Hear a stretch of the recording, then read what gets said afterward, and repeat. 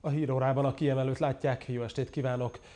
Ezúttal is foglalkozunk a piaristák terén két napja történt balesettel. Annak jártunk ma utána, hogy milyen megoldásokra van lehetőség a további tragédiák megelőzése érdekében.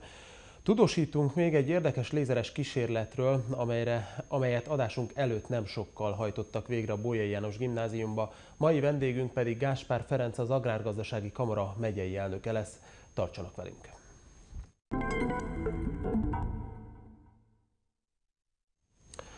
Az elmúlt hetek súlyos baleseteinek gyakran voltak áldozatai gyalogosok. A szerda este történt halálos kimenetelű buszos gázolás kapcsán sokan gondolják úgy, hogy valamit tenni kellene. Vannak akiknek már ötletei is van. Most annak jártunk utána, hogy ezekhez mit szól egy közlekedési szakember.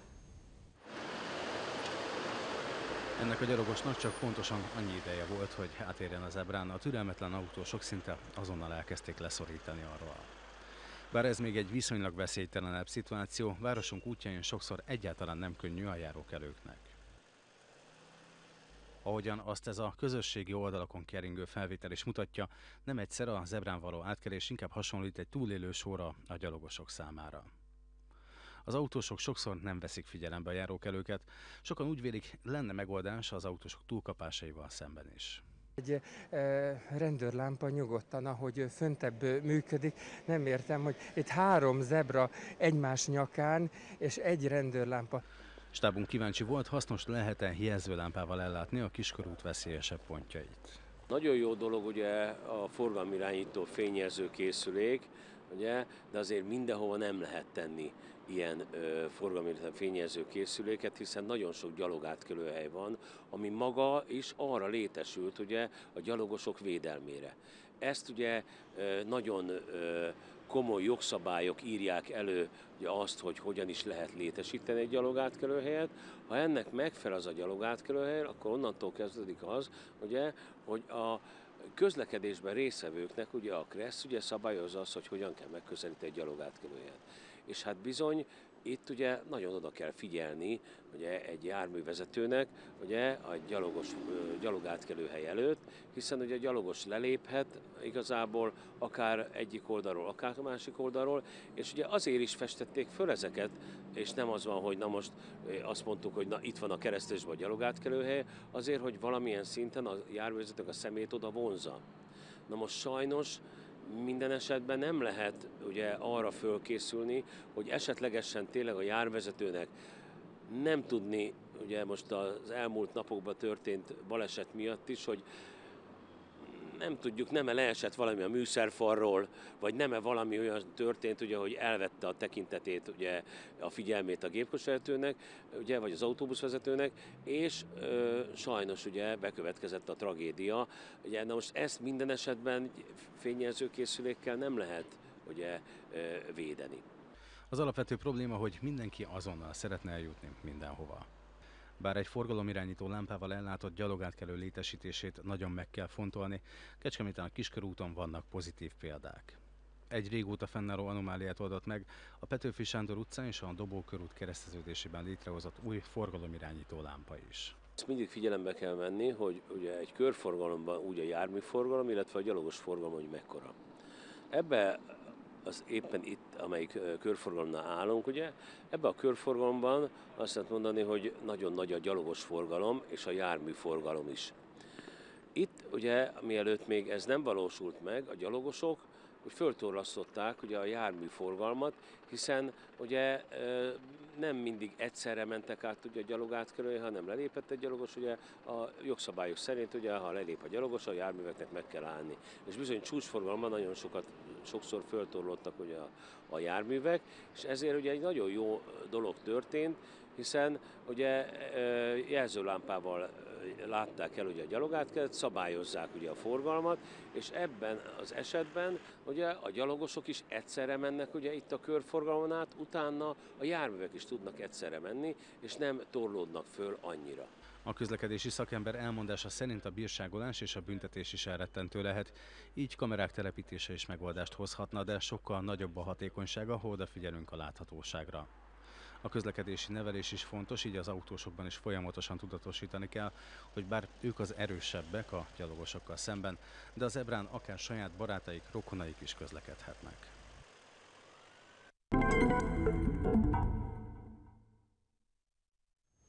Látványos lézer kísérleteket mutattak be a németországi Max Planck intézet munkatársai ma délután a Bójai János gimnáziumban. A teltházas eseményre több kecskeméti középiskolából, de még általános iskolákból is érkeztek érdeklődők. Az egyik kísérlet például azt szemléltette, hogy a fény képes saját magát kioltani. Péntek délután a természettudományoké volt a főszerep a Bolyai János gimnáziumban. A Max Planck intézet két munkatársa látogatott Kecskemétre. Előadásukkal és látványos kísérleteikkel a lézerek világába kalauzolták el az érdeklődőket.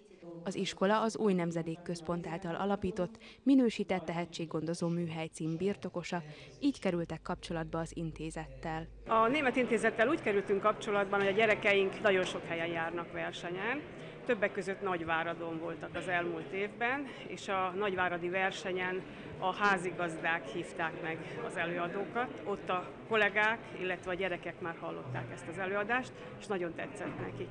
Sikó Dezső tanár úr pedig meghívta a kutatókat. Kicsit féltünk, hogy nem fogják elvállalni, de nagyon örülünk neki, hogy sikerült Kecskeméten vendégül látni őket. Az eseményre számos kecskeméti középiskolából érkeztek érdeklődők, de kisebb gyerekek is kíváncsiak voltak a kísérletekre. Ha jól tudom, akkor lesz egy nagyon látványos és különleges kísérlet is, ami még talán nem sikerült eddig Magyarországon, ezt hallottam. Ez miről szól pontosan? Hát ez egy kis, egy kis túlzásnak gondolom. Igazából egy, egy, egy egyszerű kísérletet fogunk bemutatni, de nagyon olyan szempontból nagyon látványos, hogy az ember nem nagyon tudja elképzelni, hogyha fényt és fényt összeadunk, akkor abból hogy hogyan keletkezett sötétség, és ezt fogjuk tudni bemutatni. A Michelson Morley kísérlet azt szemlélteti, hogy a fény képes kioltani önmagát. Segítségével eredetileg a Föld sebességét szerették volna megmérni az éterhez képest, ez azonban nem vezetett eredményre. A problémát később a speciális relativitás elmélettel magyarázták meg. karban az út hosszat. Na most akkor akkor most megnézzük, hogy hogy néz ki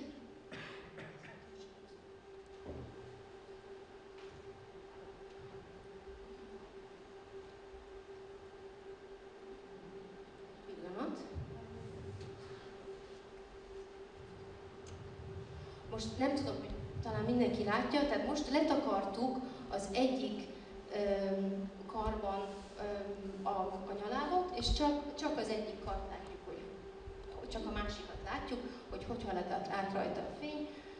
Öm, itt látszik a folt, ami itt ezen az ernyőn, az ernyőn megérkezik. Ezt majd mindenki a végén, ha érdekli, kijöhet és megnézheti ö, igazából. Most ha letakarjuk a másikat,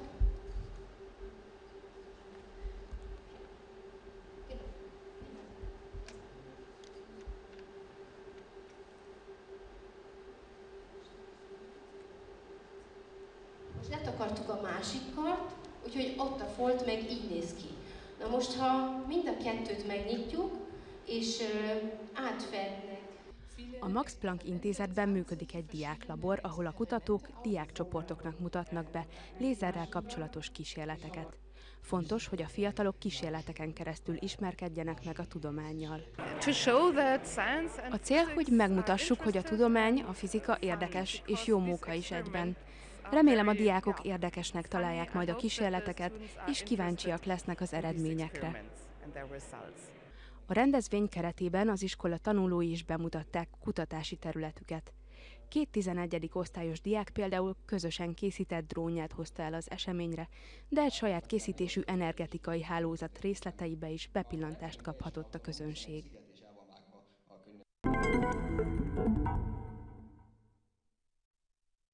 Néhány hete új elnöke van a Nemzeti Agrárgazdasági Kamara megyei szervezetének. Most egy délután rögzített beszélgetés következik Gáspár Ferenccel, a Nemzeti Agrárgazdasági Kamara Bácskiskun megyei elnökével Kozák Polett kolléganőm beszélgetett.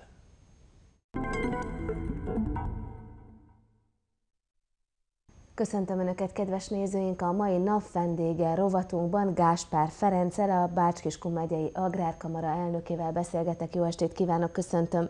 Jó estét kívánok! Elnök úr, önt pár hónapja választották meg ebbe a tisztségébe. A mezőgazdaság mely területén dolgozott eddig? Hová, honnan került erre a területre? Szabadszáson egy kis családi gazdaságunk van, amit szüleimmel építettünk fel. Gyakorlatilag növénytermesztéssel, áltenyésztéssel foglalkozunk, juhászattal, és szántóföldi növénytermesztésemből a juhászat az a gyakorlatilag a takarmány előállításhoz és cukorépa termesztéssel, és egy kicsi szőlőnk is van, tehát gyakorlatilag mezőgazdaság minden ágát ismerem. Akkor testközelből látja tulajdonképpen a gazdák helyzetét, problémáit. Igen, igen, testközelből érzem, bőrömön érzem úgymond a gazdák minden búját, baját. Ugye Bácskiskun hagyományosan agrár, mezőgazdasági megye. Hogyan látja itt a megyében az agrárium helyzetét jelenleg? Én azt gondolom, hogy ha múlt évet tekintjük, egy közepes évet tudott zárni az agrárium. Vannak ágazatok, amelyek sikeresebben tudták zárni az évet, a növénytermesztés, a gabonatermesztési ágazat. Vannak ágazatok, amik nehéz helyzetben vannak, itt az állattenyésztési ágazatokra gondolok inkább. Egy kicsit a piaci helyzetükön se valahogy segíteni kellene a állattenyésztési ágazatnak, én úgy látom új vezetőként mit tart a kamara legfontosabb feladatának? Akár arra vonatkozóan is, hogy ezeken a problémákon, a jelenlevő problémákon lehessen segíteni, vagy mi az, ami célként fogalmazódik meg? Én szolgáltat vállaltam, és ez a legfontosabb feladatom. Úgy gondolom, hogy a gazdálkodók megfelelő szintű információval el legyenek látva mindenkor, és a mindennapokban felmerülő aktuális problémáikat tudjuk segíteni. Itt én azt gondolom, hogy mindenképpen egy elnöknek az a feladata, hogy, hogy napi élő kapcsolat legyen a gazdálkodókkal, ismerje, tudja a problémáikat. És példaként szeretném felhozni a térségben, ami fölmerült október végén, ugye volt egy, egy viharkára fóliás kertészetekben. Itt azért kamara, akkor még ugye alelnökként, de aztán végül is ezt elnökként fejeztem be ezt a munkát, sikerült azért végigegyeztetni, hogy egy kártalanítási folyamatot végigvittünk, és gyakorlatilag hátrányítva lettek a gazdálkodók. Én azt gondolom, hogy ezek a fontos feladataink. Rövid és hosszú távú elképzelések, esetleg hosszú távú célkitűzések? Hát én ciklus végére szeretném, hogyha a, a kamarának egy ilyen egységes arcatot tudnánk kialakítani. Tehát egy gazdálkodó a megyébe bárhol bemegy egy, egy, egy falugazdász irodába, tudja, hogy a kamarai irodába érkezett meg, és a falugazdászainkat folyamatosan képezve a gazdálkodókat folyamatosan képezve segíteni őket a átalakuló piac és a mezőgazdaságban eligazodni. A ciklus végére az mit jelent a nézők számára? Hát öt évre választottak meg a kamara elnökének. Milyen problémákkal, Gyakor, bocsánat. milyen problémákkal keresik meg önöket a leggyakrabban egyébként a gazdák? Milyen kérdésekkel? Hát ami most felmerülő probléma, hogyha napi aktualitást mondjunk, a vidékfejlesztési program nyertes pályázója napokban kaptak értesítéseket. Nekik most a fő problémájuk az, hogy ezeknek a nyertes pályázatoknak a lefinanszírozása. Itt a különböző bankokkal való tárgyalások és egyeztetések kapcsán tudunk segíteni. Készül egy új vízgazdálkodási stratégia is. Ebben a folyamatban az Agrárkamarának mi a feladata? Igen, hát itt most végeztek a falugazdászlaink a feladattal. Egy nagyon nagy felmérés volt, közel 5000 gazdálkodót érintett a megyében. Gyakorlatilag arról kérdeztük meg őket, hogy szeretnének-e öntözni, van-e vízjogi engedélyük, tudnak-e öntözni, mi az akadály annak, hogy ők most nem tudnak öntözni, ennek anyagi oka van, vagy esetleg administratív okai vannak. Egy nagyon reprezentatív fölmérés volt, és gyakorlatilag a vízgazdálkodási stratégia ebből fog építkezni, hogy hol tud a kormány beavatkozni esetleg hazai forrásokból öntöző csatornák építésével és egyéb pályázatokkal segíteni abban, hogy az időjárás viszontagságait egy kicsit kiküszöböljük a gazdálkodók számára, ezzel, hogy tudnak, tudnak öntözni. akár ebben a kérdéskörben, akár más kérdésben lesz-e lehetőség minden gazda szavára odafigyelni, hiszen a kamarai tagság az kötelező, de mégis hogyan valósulhat ez meg? Én azt gondolom, hogy képletesen mondhatjuk, hogy lesz mód odafigyelni. Nagyon szerencsés vagyok abból a szempontból, hogy a küldött gyűlés az alelnökeimet olyan összetételben választotta meg, hogy gyakorlatilag az agrárium minden területéről van alelnököm, és a megye minden részéből gyakorlatilag nincs a megyének olyan térsége, a déli rész, a bácskai részből Bajáról is van alelnököm, de ugyanúgy a megye középső részéről is, és van a szőlőságazatból érkező hegybíróként tevékenykedő alelnököm. Tehát én azt gondolom, hogy rajtuk keresztül is, és gyakorlatilag a kamara rendszere, hogy fölépült, tehát az osztálytagokon keresztül is azért tud menni a kommunikáció. Ha személyesen hogy nem is tudok minden gazdával kommunikálni, de, de azért a, a problémáikról fogok tudni értesülni mindenképpen. Azért az agrár mezőgazdasági ágazat mindig ki van téve az időjárás szeszélyességének. Az eddigi tél is eléggé szeszélyes volt. Milyen hatásokkal, milyen hatással volt ez a mezőgazdaságra, az agráriumra? Hát igen, mindig azt tanultam a szüleimtől, az idő a gazda, uh-huh. nem a János. Én azt gondolom, azért kint a gyakorlatból tapasztalva, hogy pillanatnyilag még nem okozott károkat nekünk ez a tél. Hál' Istennek most egy kicsit visszahűlt az időjárás, így a gyümölcsfák nincsenek veszélyben. Ami fő problémát jelentett, ez a kártevők felszaporodása, mert ahhoz kellene egy húzamosabb hideg időszak, hogy ezek elpusztuljanak. Erre kell majd nagyon odafigyelni a tavasszal a kártevőírtásra gyümölcsösökben.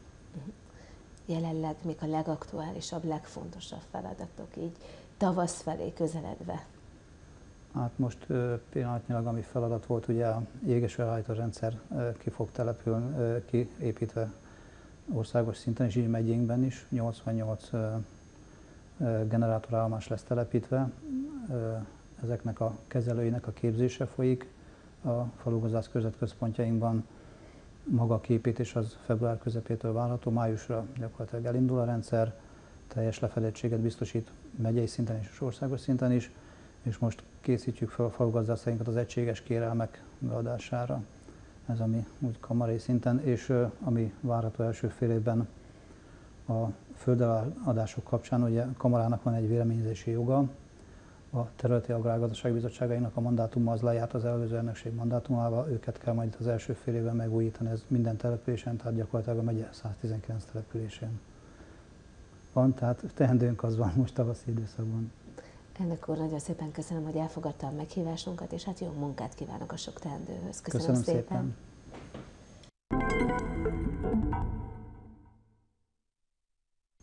A kiemelőben minden nap egy-egy tematikus műsorral várjuk Önöket, ezúttal a kávészünet következik.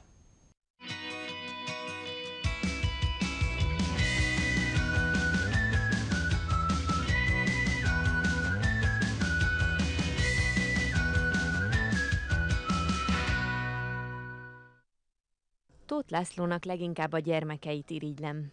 Vajon milyen lehet olyan édesapa mellett felnőni, aki a legszebb meséket rajzolja? Aki olyan külföldi és magyar rajzfilmeken dolgozik és dolgozott, amiken generációk nőnek fel. Biztosan meseszerű lehetett. Erről és néhány kulisszatitokról kérdeztem a Tepsiben egy kávé mellett Tóth Lászlót. Nagyjából hány éves az ember, amikor rádöbben arra, hogy a, a rajzolás az nem pusztán egy ilyen hobbi vagy egy kikapcsolódás, bár azért azt gondolom, hogy ez is benne van a szakmádban, de egy picit mesélj nekem arról kérlek, hogy hogyan jut el az ember ö, tudatában odáig, ez milyen folyamat, hogy, ö, hogy egy, egyszerűen egyszer csak a magyar népmesékbe látjuk a rajzait. Ha jól emlékszem, olyan tíz éves korom körül fogalmazódott meg bennem mindenféle rajzfilmet fogyasztva, nézve, képregényeket olvasva, hogy nekem valami ilyesmivel kéne majd foglalkoznom felnőtt korban, de hát mint minden kamasz később, tizenvalány évesen ugye elkalandoztam különböző irányokba, és csak, csak középiskolában tért vissza így ez a, tértem vissza ez az eredeti ötlethez, amikor képbe került így a Kecskeméti rajzfilm stúdió már konkrétan, és onnantól azt céloztam meg. De ez a kérdéshez még el tudnám azt is mondani, hogy amit aztán később saját gyerekeimben, meg számtalan gyereken megfigyeltem, bárki megfigyelhet, hogy a, imádnak a gyerekek rajzolni, színezni, bármilyen eszközzel kézműveskedni, de valahol ott a 11 néhány éves korban ugye, mintha elveszítenék ezt a tulajdonságot, különböző dolgok miatt mindenfelé elterelődik a figyelmük, elkalandoznak, és onnantól nagyon sok felnőtt ember soha nem rajzol. Tehát ugye lassan már kézzel se írunk, csak gépelünk, vagy pötyögünk a telefonon. Szerinted a, a rajzolás képessége, a kézügyesség, az egy olyan képesség, ami, ami csak annak megy, akivel vele született, vagy ez egy abszolút ö, ö, formálható, képezhető talentum? Nyilván kell egyfajta adottság, egy, egy vele született tehetség, mint meg annyi más területen, és bizonyos mértékig fejleszthető.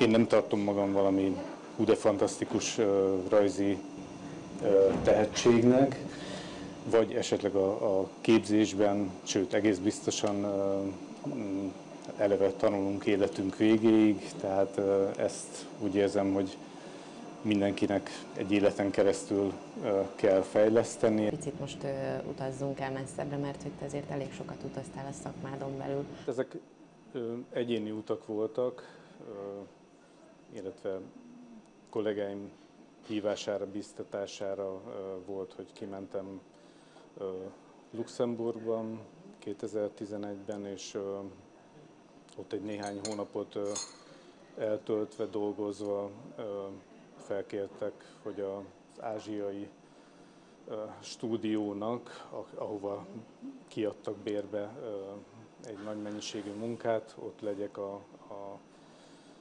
a luxemburgi képviselőjük magyarként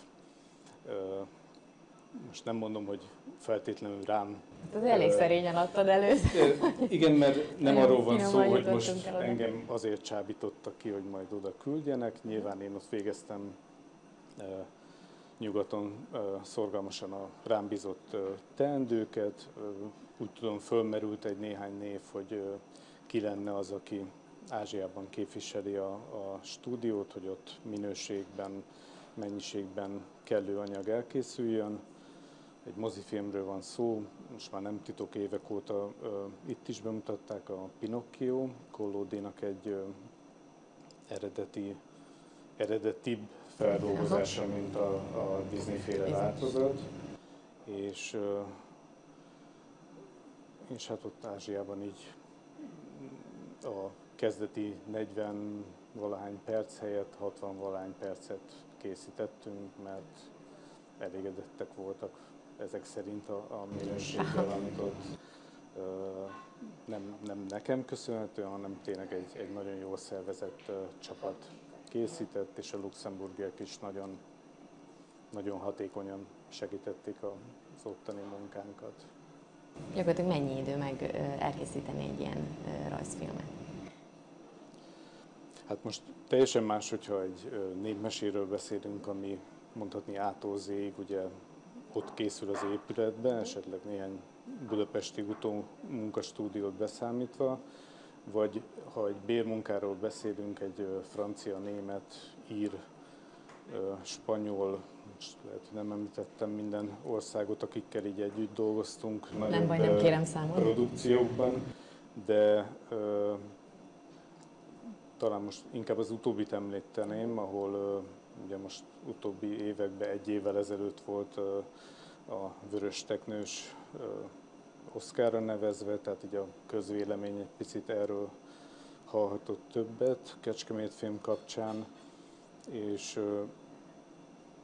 az ilyen jellegű bérmunkáknál ugye külföldön az anyastúdióban, tehát a megrendelőnél elkészül a forgatókönyv, kitalálják, hogy mi hogy nézzen ki, a háttérvilág, a karakter, készítenek egy úgynevezett forgatókönyv filmet, most kerülöm kicsit az angol kifejezéseket, ami alapján ugye már teljes egészében meg lehet nézni, a, megtekinteni a filmet, mondjuk a 80 percet vagy másfél órát, és ez, a, ez alapján szépen utána kiosztják a feladatokat, tehát elindul egy előkészítői munka, ami utána az animáció készül, és mind-mind külön-külön stábok vannak, ami, ami hát egy nagyon jól szervezett felépítést igényel, hogy kik az irányítók, ők ki mire figyel, ők hogyan dolgoznak össze,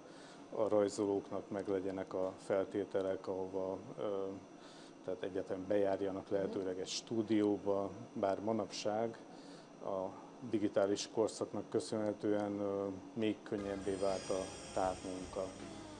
Szoktam azt mondani, hogy van is olyan nyugat-európai kolléga, aki nyaranta lemegy például a Fekete-tengerre, és egy hajón készíti a festi mondjuk a háttereket, mert, mert csak egy internet kapcsolat kell, és Skype-on naponta akár meg tudja beszélni a, a lényeges dolgokat a rendezővel, vagy akivel kell. Volt-e olyan ö, alkotásod, ami kikerült a kezed közül, és valamiért azt mondtad, hogy ez a kedvenc? Azt hiszem érzelmileg közelítem meg a, a dolgot, tehát nem feltétlenül a kész produktum a filmnek a, a valós művészi vagy valamilyen értékét tekintve.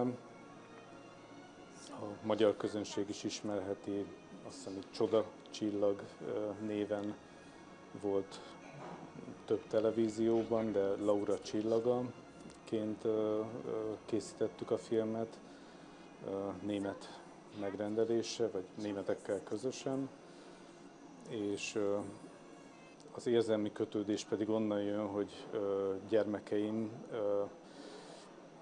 hogy mondjam, a stúdió és az otthonom között ugye a napi ingázásban a, a munkahelyen a Laura és a kicsöccse olyanok voltak, mint a gyermekeim, miközben készítettük azokat a, a bájos és izgalmas és humoros jelenteket.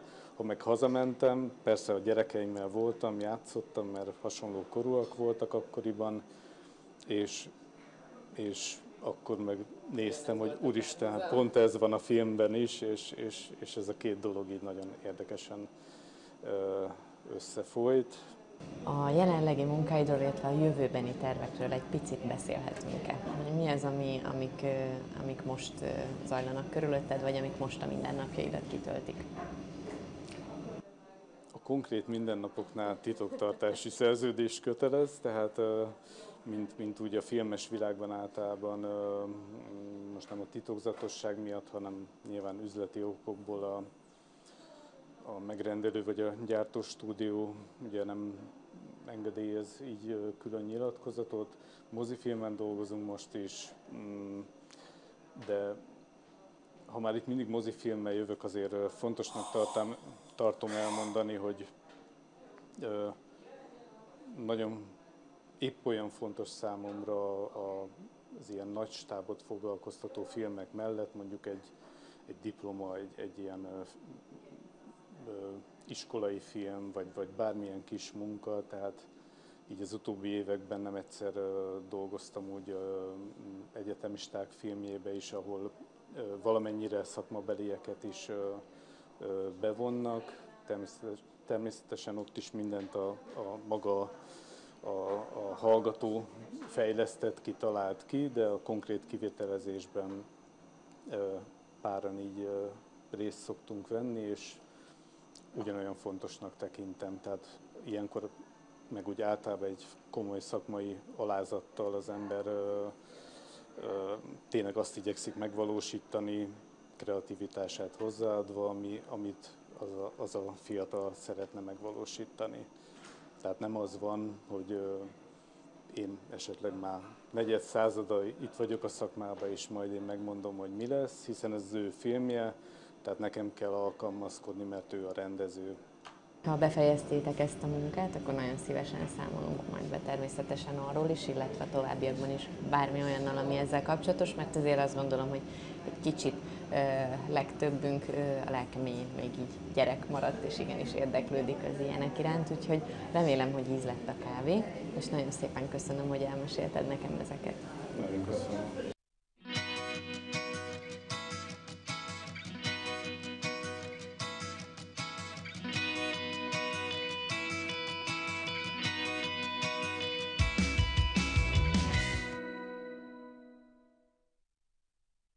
Híróra végéhez közeledünk, most összefoglaljuk a mai híres hírek legfontosabb témáit egy percben. Következik az Esti Gyors.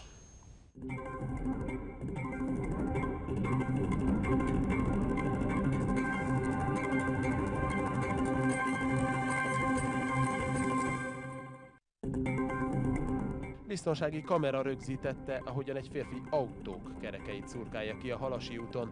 A közelben élők szerint bosszúról van szó. Katica kupolás lesz az újabb kecskeméti bölcsöde a Homokbányán. Az intézményben 52 gyermek ellátására lesz mód. Karbantartásokba és fejlesztésekbe kezd az áramszolgáltató hétfőn 16 utcában nem lesz áram Kecskeméten. Gyertyagyújtással emlékeztek Kecskeméten a piaristák terén arra a 23 éves nőre, akit szerdán a zebrán gázolt el egy busz. Utána jártunk, mennyire megalapozottak és kivitelezhetőek azok az ötletek, amelyek eddig felmerültek a piaristák terének biztonságosabbá tételére.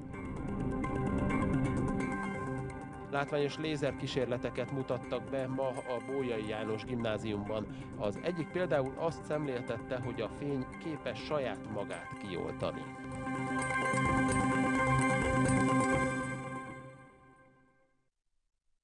És véget ért a híróra, amelyet teljes egészében meg tudnak tekinteni a megújult honlapunkon, a kecskemétitv.hu-n.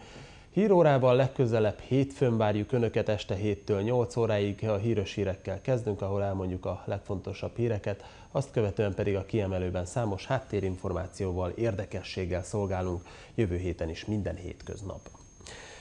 Megköszönöm egész heti figyelmüket, további szép estét, jó tévézést, kellemes hétvégét kívánok, legyenek velünk a jövő héten is. Viszontlátásra! thank you